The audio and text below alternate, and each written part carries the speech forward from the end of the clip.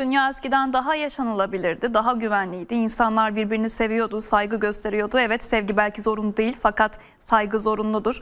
E, o zorunluluk da unutuldu. Sevgili izleyenler sanki dünyamız yorgun değil bu yaşananlardan. Doğudan bir çocuk ölümü, batıdan bir cinsel istismar sonucu çocuk ölümü.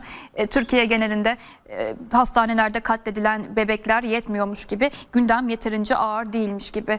Bir de dünya üzerinde devam eden korkunç savaşları konuşuyoruz. Dünya barışı hasret, böyle güzel gökyüzünde uçan beyaz barış kuşlarına hasret. Fakat hasret kaldık o günlere artık böyle çocuklara anlatılan hikaye.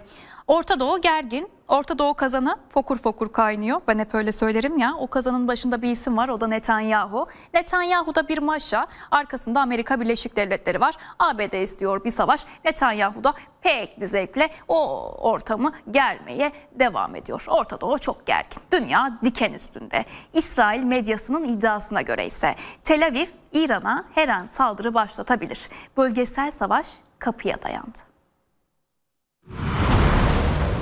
Orta Doğu'da savaş çanları çalıyor. İsrail İran'a her an saldırabilir. Tel Aviv-Tahran gerilimi hat safhada. İsrail'in İran'ın füze saldırısına nasıl yanıt vereceği belirsizliğini koruyor. İsrail Devlet Televizyonu kan çarpıcı bir iddiada bulundu. Netanyahu'nun İran'a yönelik saldırıyı başlatmak üzere olduğunu öne sürdü. İddia İsrail'i bir yetkilinin sözlerine dayandırıldı. Söz konusu yetkili Tel Aviv'in ABD'nin saldırıyı yumuşatma yönündeki baskısına da aldırış etmediğini vurguladı.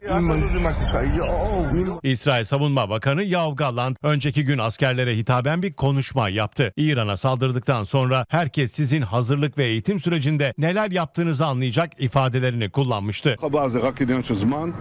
İran 1 Ekim'de İsrail'e füze saldırısında bulunmuştu. İsrail de bu saldırıya mutlak karşılık vereceğini bildirmişti.